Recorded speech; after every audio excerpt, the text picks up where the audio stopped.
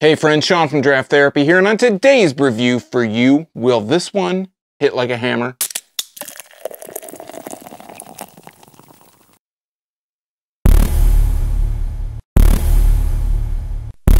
Velvet Hammer 13 is an 8.5% barrel-aged sour brown ale from Arbor Brewing Company in Ypsilanti, Michigan. All right, you all know the line. I'm a sucker for a good brown and I've actually had a couple sour brown ales that have been surprisingly tasty, but to me, they really haven't carried that much of the brown ale flavor, and it's just been more of the sour. Now, I'm not really much into sours. I dip my toes a little bit with kettle sours, uh, maybe a Gose here or there, maybe the occasional Berliner Weiss, but straight up sours, I, I have to admit, I'm a little out of my league. Now, today I've got Velvet Hammer 13 from Arbor Brewing Company, and yeah, this is a, this is a thing I'm going to try with you guys here today. Uh, I don't know what I'm going to think. Again, this is really kind of uncharted territory for me. So let's take a look at the label. We'll get it into a glass. Fun fact, sour beers are generally made by letting wild yeast strains ferment the beer rather than using specific yeast strains to ferment like you do with an IPA or really any other type of beer. So let's take a look at the label and uh, we'll get it into a glass. So on the front, this is just a really plain, really striking actual, actually a really striking label um, it has this white and red stripe on the side like a brush stroke, and it says Arbor Brewing Company, established in 1995. And then it has in white and, white and black, it says VH, which stands for Velvet Hammer. This is Velvet Hammer, Hammer number 13. It's a barrel-aged sour brown ale, as I mentioned before. There's no ABV information in on this bottle at all. Uh, I picked this up actually when I picked up the vanilla black note um, so they were picked up at the same time. They roughly came out, should be, have been right around the same date, actually. And it has a government warning. It says brewed and bottled by Arbor Brewing Company in Ypsilanti, Michigan. This is one pint and 0.9 fluid ounces, so just about over a pint. It is a large looking bottle though, and there is no dating information on here. Like I said, I got it at the same time I got Vanilla Black Note. That was like mid-December. Um, just, you know, if you watch the Vanilla Black Note video, it would have I would have picked this up the weekend that, or the week before I made that video. So all about the same time. This is a cap, as you can see from the top. It's got a really, again, it's a really striking label. It's really minimal, which I love. Uh, on the top, the cap is the Arbor Brewing Company solar powered cap. It's a black cap with the tree on it in gold. Uh, mitten made, solar powered. So that's pretty cool cap. And uh, as far as caps go, let's go ahead and crack this open. And uh, we'll set it to the side. I almost am getting this kind of aroma of coffee, but let's, it's actually fizzing up here in the neck and hopefully it's gonna settle down a little bit. Smells very sour.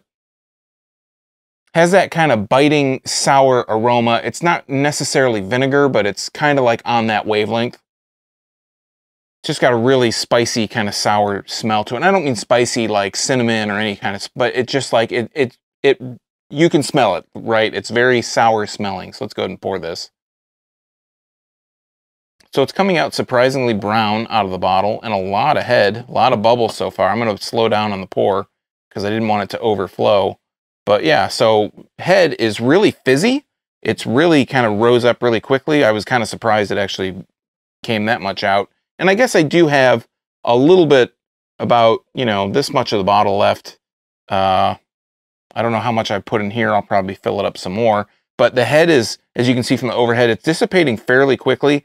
Um, I, I don't have much experience with sours, so I don't know if they usually have a lot of head, but it's just off-white. It's a little bit darker white. It's maybe a little bit of a tan color. Uh, it's not quite white. It's not coffee colored. It's not khaki colored, but it's like a tan kind of off-white color. And holding it up to the light, uh, it's actually pretty thick. It's pretty dark. It's a really light kind of brown around the bottom and the bulb of this glass. And I'm going to pour a little bit more. I'm going to be brave because, again, I, am not a big sour guy, but I'm going to try this because, I've, like I said, I've had a few sour browns, and I've, I've actually enjoyed them a little bit, uh, you know, for the most part. So let's put a better nose here on the glass. Yeah, getting, again, more of that kind of um, really striking kind of sour note to it. It's got like an acidic kind of smell to it. I don't really have like the palate or the, the nose for sours, so I can't really describe everything that I'd like to describe, but what I can tell you is it's kind of almost vinegar-like. Um, it is sour, like you can tell when you've smelled a sour beer, you know what they smell like. This smells like that. The head has become really kind of soft looking, And uh, I'm really just over describing it because I'm kind of afraid almost to drink this. So I'm going to go ahead and down the hatch. Cheers.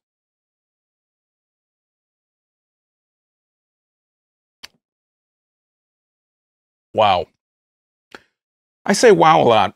I was editing all the 2019 videos and I noticed I was going to make a montage of all the times I said wow. But wow, this deserves a wow.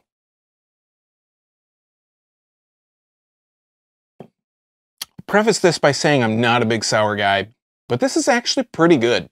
Um, it's really sour. It has a really biting, almost um, apple kind of apple vinegar kind of um, bite on the on the start, right? So when you when you take a real you know swig like that, you get get this really crisp mouth, um, really crisp taste. The mouth feels light. It's not like medium or heavy. I don't really pick up any characteristics that I would say that this is like a brown. I don't really know, um, you know, what how this relates to a brown other than it bring, being maybe starting off as a brown and then being fermented by a wild strain, you know, to pick up that that all the other flavors that you're getting the sourness, but I don't know why it starts as a brown and then goes to sour. I don't know if that's like it picks up more of the flavor. I, I really don't can't explain that to you. If you know anything about that, leave me a comment down below and kind of maybe school me on it a little bit.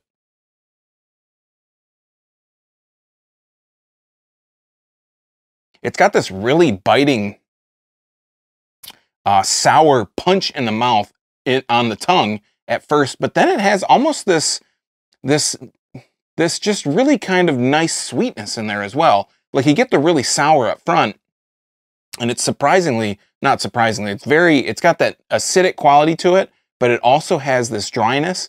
But after that sourness up front, you get that kind of like apple, puckery, kind of sour flavor. There's a sweetness that comes through that's really, uh, I can really appreciate. Like it's, it's something that you have to, you have to work for it. It's not it's not so accessible like most, you know, beer that you get. It's like, oh, I have an IPA or a New England style IPA or whatever I'm generally used to tasting or a stout or whatever and you get that sweetness and it just kind of presents it to you on a platter and it's all there for you and it all just kind of works out. This, uh, there's that sourness that just kind of really just punches you in the mouth at first and it's almost kind of like, oof, you know, like you, you squint your eyes and you kind of pucker up a little bit.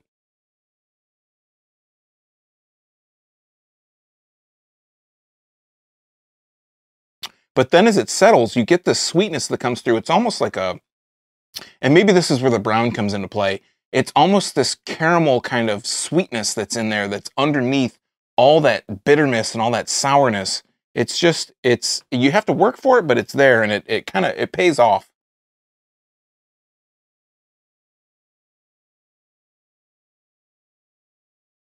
I didn't know what to think afterwards and you take that drink and it dries out in your mouth. You want to kind of like you know, you're kind of puckering and you're kind of like slapping your tongue. I'm slapping the, my tongue against the roof of my mouth to kind of pull back any kind of moisture that's there because it kind of takes that all away. And then the aftertaste is this, um, I don't know, it's kind of like, uh, it, there's a sourness in there, but it's almost kind of like a bready, kind of yeasty quality in there as well. I didn't know before this came out and I saw it on the shelf, I didn't know that Arbor had any sours, that they had done a series, this Velvet Hammer series. And I guess they're different every time. Like they, they, I don't know if they're always sour browns or if they're, you know, this other stuff. This says barrel aged, and I don't know if barrel aged, like, I guess there's a bit of an oaky kind of quality in there, but I don't know if when they say barrel aged, if it's barrel aged in some kind of, um, you know, like a bourbon barrel or a gin barrel, you know, if it's if it's aged anything like that, I'm not really picking up on any, any of that. I guess the finish, there's a bit of like an oaky quality to it. As it kind of sits on my tongue, maybe I'm getting kind of a woodsy, uh, oaky kind of barrel quality, and I, but I'm really kind of drawing it, you know, grasping at straws to kind of pick that out you know, at all. But I'm I'm really surprised that I am enjoying this quite as, as much as I am. I, I, didn't think that this is something that number one I would be uh, you know enjoying, and number two I would be pouring the rest of the bottle you know into my glass on this video. It's it's just got again it's like sour at front, but you just have to work for that sweetness that is in there, and there's that kind of that apple you know sour apple kind of quality to it But again, underneath all that lies this really nice crisp sweetness that kind of starts to it starts to come out, you know, on the swallow, on the on the not so much on the aftertaste, but on that swallow, you start to get it as it hits different parts of your tongue. You get different kind of elements to it.